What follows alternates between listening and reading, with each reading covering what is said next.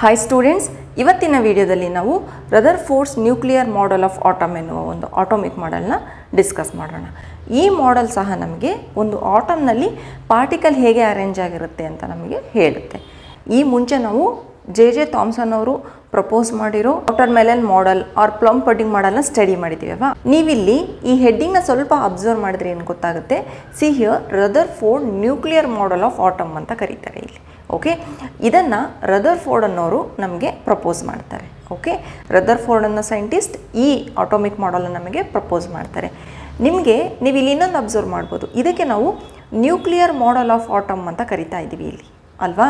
ಅಂದರೆ ಇದು ನಮ್ಗೆ ಏನು ಹೇಳುತ್ತೆ ಇಲ್ಲಿ? ಇದು ಆ್ಯಕ್ಚುಲಿ ಬಂದುಬಿಟ್ಟು ಆಟೋಮಿಕ್ ಮಾಡೆಲ್ ಅಂದರೆ ಒಂದು ಆಟೋಮ್ ಒಳಗಡೆ ಪಾರ್ಟಿಕಲ್ ಹೇಗೆ ಅರೇಂಜ್ ಆಗಿರುತ್ತೆ ಅಂತ ನಮ್ಗೆ ಹೇಳೋದೇ ಆಟೋಮಿಕ್ ಮಾಡೆಲ್ಸ್ ಅಲ್ವಾ?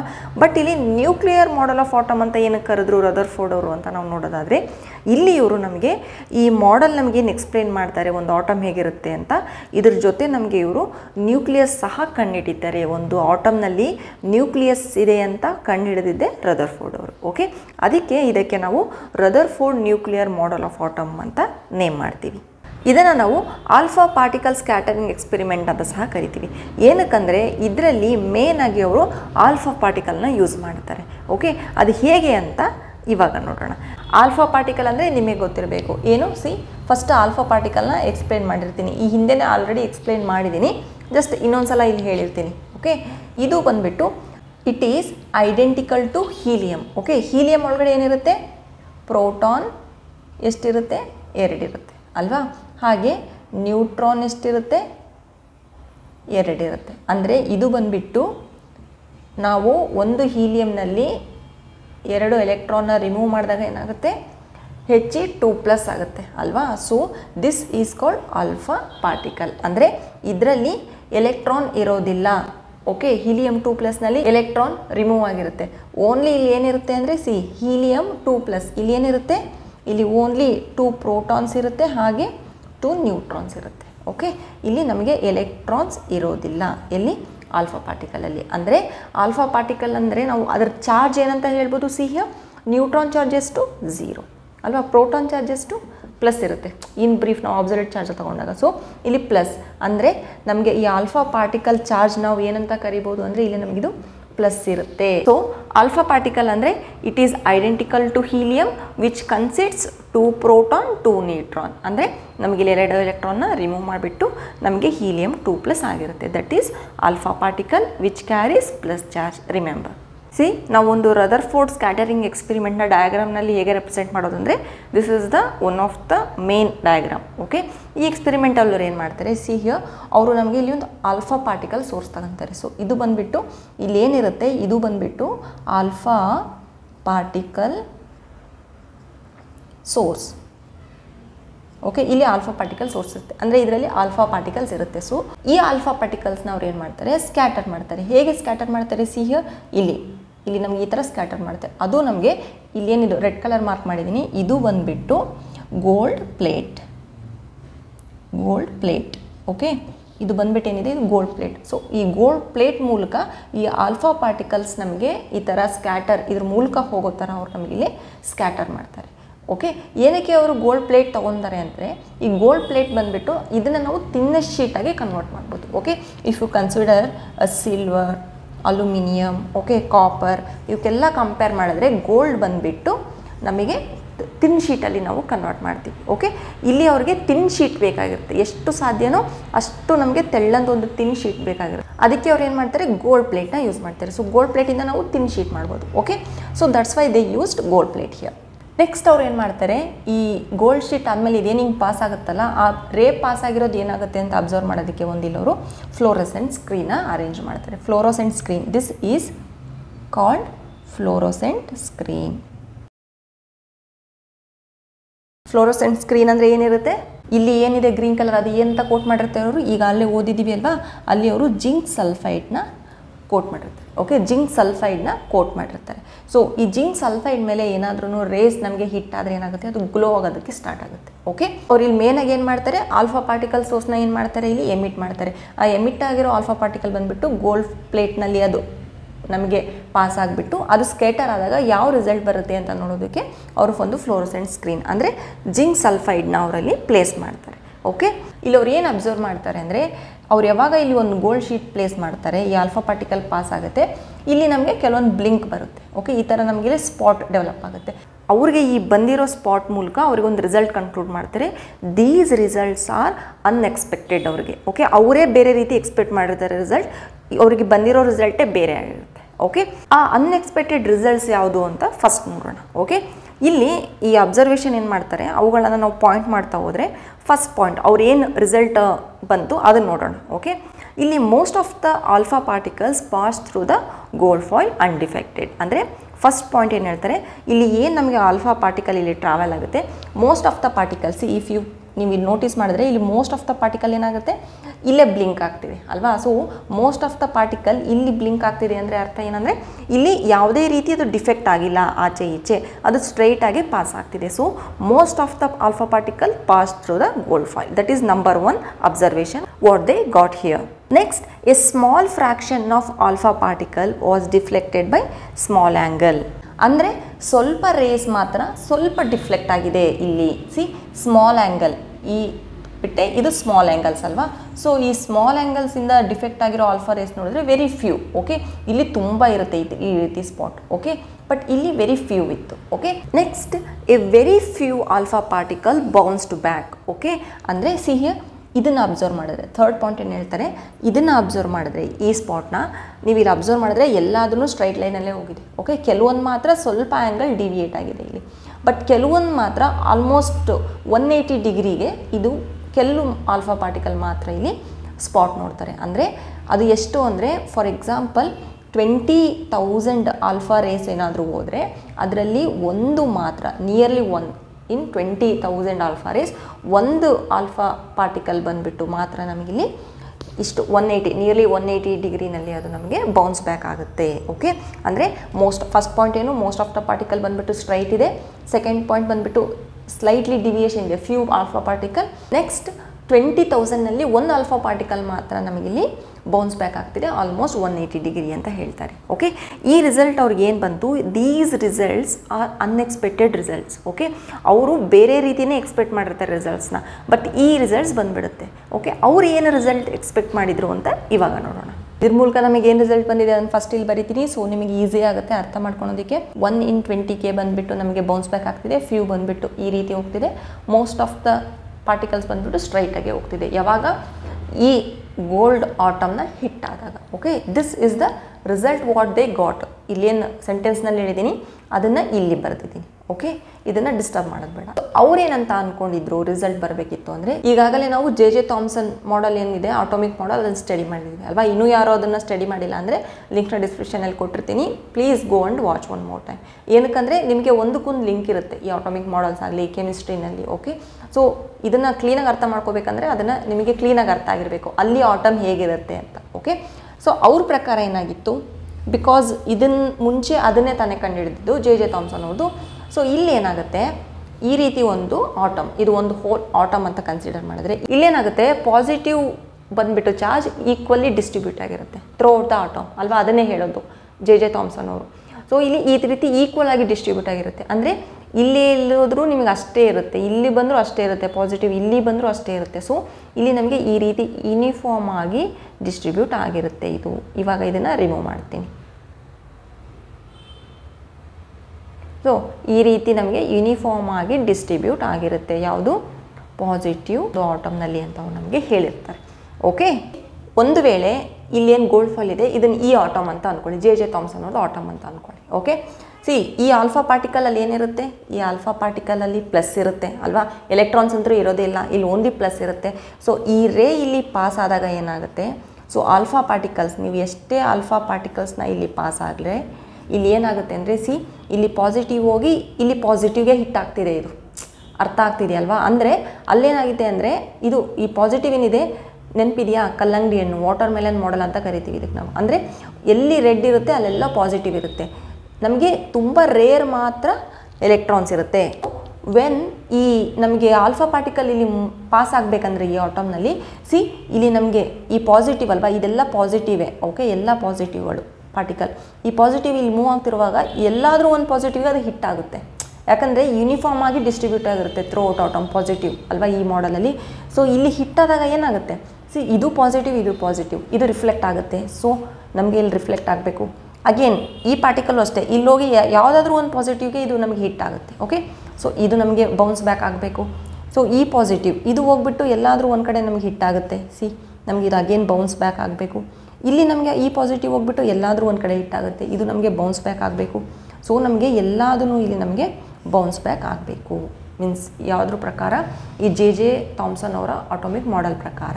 ಅಂದರೆ ನಮ್ಗೆ ಇಲ್ಲಿ ಎಲ್ಲಾದ್ರೂ ಇಲ್ಲಿ ರಿವರ್ಸೇ ಬರಬೇಕು. ಓಕೆ ಇಲ್ಲಿ ನಮಗೆ ಇಲ್ಲಿ ಹಿಟ್ಟಾದ ತಕ್ಷಣ ಎಲ್ಲದೂ ರಿವರ್ಸ್ ಬರಬೇಕು. ಓಕೆ ಅದೇ ನಮಗೆ ಮ್ಯಾಕ್ಸಿಮಮ್ ಆಲ್ಫಾ ಪಾರ್ಟಿಕಲ್ ಬಂದ್ಬಿಟ್ಟು ಇಲ್ಲಿ ರಿವರ್ಸ್ ಇರಬೇಕು. ಬಟ್ ಇಲ್ಲಿ ಏನಾಗ್ತಿದೆ? ಈ ಎಕ್ಸ್ಪೆರಿಮೆಂಟಲ್ಲಿ ಇಲ್ಲಿ ನಮಗೆ most of the alpha particle ಸ್ಟ್ರೈಟೇ ಹೋಗ್ತಿದೆ. ರಿವರ್ಸೇ ಬರ್ತಿಲ್ಲ. ರಿವರ್ಸ್ ಬರ್ತಿರೋದೆಷ್ಟು ತುಂಬ ಕಡಿಮೆ. ಓಕೆ ಇವ್ರ ಎಕ್ಸ್ಪೆಕ್ಟೇಷನ್ ಪ್ರಕಾರ ಮ್ಯಾಕ್ಸಿಮಮ್ ಬಂದುಬಿಟ್ಟು ಆಲ್ಫಾ ಪಾರ್ಟಿಕಲ್ಸ್ ನಮಗೆ ಬೌನ್ಸ್ ಬ್ಯಾಕ್ ಆಗಬೇಕಿತ್ತು ಇದರಲ್ಲಿ. ಓಕೆ ಈ ಎಕ್ಸ್ಪೆರಿಮೆಂಟಲ್ಲಿ ಮ್ಯಾಕ್ಸಿಮಮ್ ನಮಗೆ ಬೌನ್ಸ್ ಬ್ಯಾಕ್ ಆಗಬೇಕಿತ್ತು. ಏನಕ್ಕಂದರೆ, ಇಲ್ಲಿ ಪ್ಲಸ್ ಇರುತ್ತೆ. ಇಲ್ಲಿ ಪ್ಲಸ್ ಇರುತ್ತೆ. ಇದು ನಾನು ದೊಡ್ಡದಾಗಿ ಇಲ್ಲಿ ತೋರಿಸಿರೋದು ಓಕೆ ಸೊ ಈ ರೀತಿ ಅವರು ಎಕ್ಸ್ಪೆಕ್ಟ್ ಮಾಡಿದರು ರಿಸಲ್ಟ್ನ ಅಂದರೆ ಮ್ಯಾಕ್ಸಿಮಮ್ ಆಲ್ಫಾ ಪಾರ್ಟಿಕಲ್ನ ಅವರು ಬೌನ್ಸ್ ಬ್ಯಾಕ್ ಬರಬೇಕು ಅಂತ ಎಕ್ಸ್ಪೆಕ್ಟ್ ಮಾಡಿದರು. ಬಟ್ ಇಲ್ಲಿ ಏನಾಯ್ತಂದರೆ, ಇಲ್ಲಿ ಮೋಸ್ಟ್ ಆಫ್ ದ ಪಾರ್ಟಿಕಲ್ ಬಂದುಬಿಟ್ಟು ಸ್ಟ್ರೈಟೇ ಹೋಗ್ಬಿಟ್ಟಿತ್ತು ಓಕೆ ವೆರಿ ಫ್ಯೂ ಮಾತ್ರ ನಮಗೆ ಸ್ವಲ್ಪ ಡಿಫೆಕ್ಟ್ ಆದರೆ, ನಮಗೆ ಒಂದು ಮಾತ್ರ, ಅಂದರೆ ಟ್ವೆಂಟಿ ತೌಸಂಡ್ ಆಲ್ಫಾ ಪಾರ್ಟಿಕಲಲ್ಲಿ ಒಂದು ಆಲ್ಫಾ ಪಾರ್ಟಿಕಲ್ ಮಾತ್ರ ನಮಗೆ ಬೌನ್ಸ್ ಬ್ಯಾಕ್ ಆಗ್ತಿತ್ತು. ಸೊ ಅವ್ರೇನು ನಮಗೆ ರಿಸಲ್ಟ್ ಬಂತು, ಅವ್ರು ಎಕ್ಸ್ಪೆಕ್ಟ್ ಮಾಡಿರೋದಕ್ಕಿಂತ ನಮಗೆ ಆಪೋಸಿಟ್ ಆಗಿ ರಿಸಲ್ಟ್ ಬಂದಿತ್ತು ಓಕೆ ಇನ್ನು ಹೇಗೆ ಅವ್ರು ಕಂಡುಹಿಡಿದ್ರು most of the particle straight ಬಂತು ವೆರಿ ಫ್ಯೂ ಸ್ವಲ್ಪ ಡಿವಿಯೇಟ್ ಆಯಿತು. One in twenty thousand full deflect ಆಯಿತು ಅಂತ using this zinc sulphide okay ಇದು ನಮಗಿಲ್ಲಿ ಎಮಿಟ್ ಮಾಡುತ್ತೆ ಅಲ್ವಾ? ಅದಕ್ಕೆ ನಮಗೆ ಜಿಂಕ್ ಸಲ್ಫೇಟ್ ಕೋಟ್ ಮಾಡಿರ್ತೀವಿ. ಇದ್ರ ಮೂಲಕ ನಮಗೆ ಈ ರಿಸಲ್ಟ್ ಗೊತ್ತಾಯಿತು. ಇದು ಈಗ ಅರ್ಥ ಆಯ್ತಲ್ವಾ? ಅವ್ರು ನಮ್ಗೆ ಏನು ಎಕ್ಸ್ಪೆಕ್ಟ್ ಮಾಡಿದ್ರು ಬಟ್ ಅವ್ರಿಗೆ ಅನ್ಎಕ್ಸ್ಪೆಕ್ಟೆಡ್ ರಿಸಲ್ಟ್ ಹೇಗೆ ಬಂತು ಅಂತ. ಓಕೆ ಸೊ ಇದು ಅವರಿಗೆ ರಿಯಲ್ ಆಗಿ ಬಂದಿರೋದು. ಇದನ್ನು ಅವ್ರು ಅಂದ್ಕೊಂಡಿದ್ರು ಬಟ್ ಬರಲಿಲ್ಲ. ಓಕೆ ಇದು ಅರ್ಥ ಆಯ್ತಲ್ವಾ?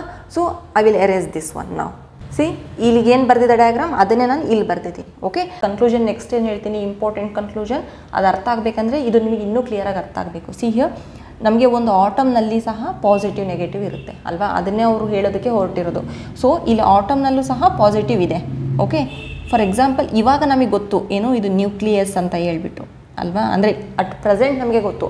ಬಟ್ ಎಕ್ಸ್ಪೆರಿಮೆಂಟ್ ಮಾಡುವಾಗ ಅವ್ರಿಗೆ ಗೊತ್ತಾಗಲಿಲ್ಲ. ಸೊ ಅವ್ರಿಗೆ ಏನಾಗುತ್ತೆ? ಈಗ ಪ್ರಕಾರ ನಮಗೇನಿರುತ್ತೆ ನ್ಯೂಕ್ಲಿಯಸ್ನಲ್ಲಿ ಏನಿರುತ್ತೆ? ಪಾಸಿಟಿವ್ ಇರುತ್ತೆ. ಅಂದರೆ ಇಲ್ಲೇನು ನಾನು ಡಾಟ್ ನ್ಯೂಕ್ಲಿಯಸ್ ಮಾಡಿದ್ದೀನಿ ಅಲ್ಲಿ ಪಾಸಿಟಿವ್ ಇರುತ್ತೆ ಅಲ್ವಾ? ಸೊ ಯಾವಾಗ ಈ ಪ್ಲಸ್ ಬಂದುಬಿಟ್ಟು ನಮಗೆ ಇಲ್ಲಿ ಪ್ಲಸ್ಗೆ ಹಿಟ್ ಆಗುತ್ತೆ ಆವಾಗ ನಮಗಿದು ಬೌನ್ಸ್ ಬ್ಯಾಕ್ ಆಗುತ್ತೆ. ನಮಗೆ ಈ ಪ್ಲಸ್ ಬಂದುಬಿಟ್ಟು ಯಾವಾಗ ಈ ನ್ಯೂಕ್ಲಿಯಸ್ಸಿಂದ ನಮಗೆ ಸ್ವಲ್ಪ ಫಾರ್ ಅವೇ ಇರುತ್ತೆ, ಅವಾಗ ಏನಾಗುತ್ತೆ? ಅದು ನಮಗೆ ಡಿಫ್ಲೆಕ್ಟ್ ಆಗಲ್ಲ. ಅದು ಅನ್ಡಿಫ್ಲೆಕ್ಟ್ ಹಾಗೆ ಸ್ಟ್ರೈಟಾಗಿ ಮೂವ್ ಆಗುತ್ತೆ. ಕೆಲವೊಂದು ಮಾತ್ರ ಏನಾದರೂ ನಿಯರ್ ಇದ್ದರೆ ಅದು ನ್ಯೂಕ್ಲಿಯಸ್ ಹತ್ರ ಸ್ವಲ್ಪ ಡಿಫ್ಲೆಕ್ಟ್ ಆಗಿರುತ್ತೆ. ಓಕೆ ಇದರಿಂದ ಅವ್ರು ಏನು ಕನ್ಕ್ಲೂಷನಿಗೆ ಬರ್ತಾರೆ? Rutherford concluded that most of the space in the atom is empty, as most of the alpha particles pass through the foil undeflected ಅಂದರೆ ಸಿ ನಿಮಗೆ most of the alpha particle ಏನಾಗಿದೆ? Undeflect ಆಗಿದೆ. ಅಂದರೆ ನಮಗೆ ಸ್ಟ್ರೈಟಾಗಿ ಪಾಸ್ ಆಗ್ತಿದೆ. ಇದು ಏನಕ್ಕೆ ಸ್ಟ್ರೈಟಾಗಿ ಪಾಸ್ ಆಗ್ತಿದೆ? ಸಿ ನಮಗೆ ಪ್ಲಸ್ ಬಂದುಬಿಟ್ಟು ಸ್ಟ್ರೈಟಾಗಿ ಪಾಸ್ ಆಗ್ತಿದೆ ಅಂದರೆ ಇಲ್ಲಿ ಯಾವುದೇ ಪ್ಲಸ್ ಇಲ್ಲ. ಅಂದರೆ ನಮಗೆ ಇದನ್ನು ರಿಫ್ಲೆಕ್ಟ್ ಮಾಡೋದಕ್ಕೆ ಇದ್ರ ಒಳಗಡೆ ಏನೂ ಇಲ್ಲ. ಮೋಸ್ಟ್ ಅಂದರೆ ಏನು? ಮೋಸ್ಟ್ ಅಂದರೆ ನಾನು ಇಲ್ಲಿ ಮೂರೇ ಡಯಾಗ್ರಾಮ್ ಬರೆದಿದ್ದೀನಿ ಓಕೆ ಇವನ್ ನೀವು ಇಲ್ಲಿ ಟ್ವೆಂಟಿ ತೌಸಂಡ್ ಡಯಾಗ್ರಾಮ್ ಬರೆದ್ರೂ ಈ ಥರ ಅಲ್ಲಿ ಏನಾಗುತ್ತೆ most of the alpha particle straight ಆಗಿರುತ್ತೆ. ಆ ಟ್ವೆಂಟಿ ತೌಸಂಡಲ್ಲಿ ಒಂದು ಮಾತ್ರ ನಿಮಗೆ ಬೌನ್ಸ್ ಬ್ಯಾಕ್ ಆಗಿರುತ್ತೆ ಓಕೆ ಫ್ಯೂ ಮಾತ್ರ ನಮಗೆ ಇಲ್ಲಿ ಡಿಫ್ಲೆಕ್ಟ್ ಸ್ವಲ್ಪ ಡಿಫ್ಲೆಕ್ಟ್ ಆಗಿರುತ್ತೆ. ಅಂದರೆ most of the alpha particles ನಮಗೆ ಸ್ಟ್ರೈಟ್ ಆಗ್ತಿದೆ ಅಂದರೆ ಸಿಹಿಯ ನಮಗಿದು ಇಲ್ಲಿ ಪ್ಲಸ್ ಏನಿದೆ ನ್ಯೂಕ್ಲಿಯಸ್ಗೆ ಇದು ನಮಗೆ ಇಲ್ಲಿ ಹಿಟ್ ಆಗ್ತಿಲ್ಲ. ಮೋಸ್ಟ್ ಆಫ್ ದ ಪಾರ್ಟಿಕಲ್ಸ್ ಏನಾಗ್ತಿದೆ, ನಮಗೆ ಈ ರೀತಿ ಅನ್ಡಿಫ್ಲೆಕ್ಟೆಡ್ ಆಗ್ತಿದೆ. ಅಂದರೆ ನಮಗೆ ಏನು ಆನ್ಸರ್ ಬರಬೇಕು? ಏನಕ್ಕೆ ಅಂದರೆ ನಮಗೆ ಇಲ್ಲಿ ನ್ಯೂಕ್ಲಿಯಸ್ಗೆ ಅದು ಟಚ್ ಆಗ್ತಿಲ್ಲ. ಅಂದರೆ ನಮಗಿಲ್ಲಿ ಸ್ಪೇಸ್ ತುಂಬ ಇದೆ. ಅದನ್ನೇ ಅವರು ಫಸ್ಟ್ ಪಾಯಿಂಟಲ್ಲಿ ಹೇಳ್ತಾರೆ. A few positively charged alpha particles were deflected next ಕೆಲವೊಂದು a few few alpha particle ಮಾತ್ರ ನಮಗೆ ಡಿಫ್ಲೆಕ್ಟ್ ಆಗ್ತಿದೆ. ಅದು ಏನಕ್ಕಂದರೆ, ಈ ಆಟಮ್ನಲ್ಲಿರೋ ಪಾಸಿಟಿವ್ ಚಾರ್ಜ್ ಬಂದುಬಿಟ್ಟು ಈ ಆಲ್ಫಾ ಪಾರ್ಟಿಕಲ್ನ ಎನಾರ್ಮಲ್ಸ್ ರಿಪಲ್ಸಿವ್ ಫೋರ್ಸಿಂದ ಅದು ನಮಗೆ ಡಿವಿಯೇಷನ್ ಮಾಡ್ತಿದೆ ಅಂತ ಸೆಕೆಂಡ್ ಪಾಯಿಂಟ್ ಹೇಳ್ತಾರೆ.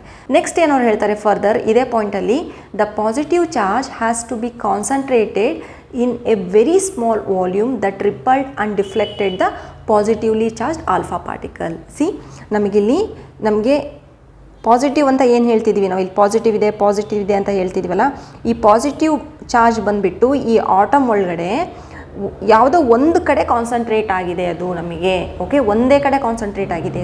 ಸಿ ಇದು ನಮಗೆ ಒಂದು ಆಟಮ್ ಅಂದರೆ ಪಾಸಿಟಿವ್ ಬಂದುಬಿಟ್ಟು ಒಂದು ಕಡೆ ಎಲ್ಲೋ ನಮಗೆ ಅದು ನಮಗೆ ಪ್ಲೇಸ್ ಆಗಿದೆ. ಅಂದರೆ ಇದಿಷ್ಟರಲ್ಲೇ ಪಾಸಿಟಿವ್ ಇದೆ ಅಂತ ಅರ್ಥ. ಅದಕ್ಕೋಸ್ಕರನೇ ಎಲ್ಲ ಆಲ್ಫಾ ಪಾರ್ಟಿಕಲ್ ಏನಾಗ್ತಿದೆ? ಡಿಫ್ಲೆಕ್ಟ್ ಆಗ್ತಿಲ್ಲ. ಅದು ಹಾಗೆ ಹೋಗ್ತಿದೆ.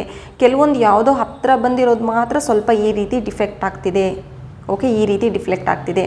ಬಟ್ ನಮಗೆ ಯಾವುದು ಡೈರೆಕ್ಟಾಗಿ ಹಿಟ್ ಆಗುತ್ತೆ, ಅದು ನಮಗೆ ಫುಲ್ಲು ಒನ್ ಏಯ್ಟಿ ಡಿಗ್ರಿ ಅಥವಾ ನಿಯರ್ ಒನ್ ಏಯ್ಟಿ ಡಿಗ್ರಿನಲ್ಲಿ ಅದು ಡಿಫ್ಲೆಕ್ಟ್ ಆಗ್ತಿದೆ ಅಂತ ಹೇಳ್ತಿದ್ದಾರೆ. ಅಂದರೆ ಸೊ ನಮಗಿಲ್ಲಿ ಎಷ್ಟು ಕಡಿಮೆ ಇಲ್ಲಿ ಡಿಫ್ಲೆಕ್ಟ್ ಆಗ್ತಿದೆ ಅಲ್ವಾ ಒನ್ ಏಯ್ಟಿ ಡಿಗ್ರಿನಲ್ಲಿ ನಿಯರ್ ಒನ್ ಏಯ್ಟಿ ಡಿಗ್ರಿ ಅಷ್ಟು ನಮಗೆ ಇಲ್ಲಿ ಸ್ಪೇಸ್ ಕಡಿಮೆ ಇರುತ್ತೆ ಆ ಪಾಸಿಟಿವ್ದು ಓಕೆ ಈ ಪಾಸಿಟಿವ್ ನಮಗೆ ಇದು ಎಷ್ಟು ಇಲ್ಲಿ ಹಿಟ್ ಆಗ್ತಿದೆ ಅಂದರೆ ಏನು? ಅಷ್ಟು ನಮಗೆ ಇಲ್ಲಿ ಸ್ಪೇಸ್ ಅಷ್ಟು ಕಾನ್ಸಂಟ್ರೇಟೆಡ್ ಇದೆ ಅಂತ ಅರ್ಥ. ಓಕೆ ನೆಕ್ಸ್ಟ್ ಏನು ಹೇಳ್ತಾರೆ, ಇದ್ರ ಬೇಸಿಸ್ ಮೇಲೆ calculations by Rutherford showed that the volume occupied by the nucleus is negligibly small as compared to the total volume of the atom okay ಅಂದರೆ ನಮಗೆ ಒಂದು ಆಟಮ್ನ ಕನ್ಸಿಡರ್ ಮಾಡಿದ್ರೆ ನಾವು ಓಕೆ ನಮಗೆ ನ್ಯೂಕ್ಲಿಯಸ್ ಏನಿರುತ್ತೆ? ಓಕೆ ಈ ನ್ಯೂಕ್ಲಿಯಸ್ ಇವರೇ ನಮಗೆ ಇನ್ವೆಂಟ್ ಮಾಡಿದಂತ ಹೇಳಿದೆ ಅಲ್ವಾ? ನೆಕ್ಸ್ಟ್ ಹೇಳ್ತೀನಿ, ಅದು ಹೇಗೆ ಇನ್ವೆಂಟ್ ಮಾಡಿದ್ರು ಅಂತ. ಇವಾಗ ಗೊತ್ತಲ್ವಾ ನ್ಯೂಕ್ಲಿಯಸ್ ಸೊ ಅವ್ರು ಏನು ಹೇಳ್ತಾರೆ? ಬೈ ಕ್ಯಾಲ್ಕುಲೇಷನ್ಸ್ ಈ ನ್ಯೂಕ್ಲಿಯಸ್ ಏನಿರುತ್ತೆ?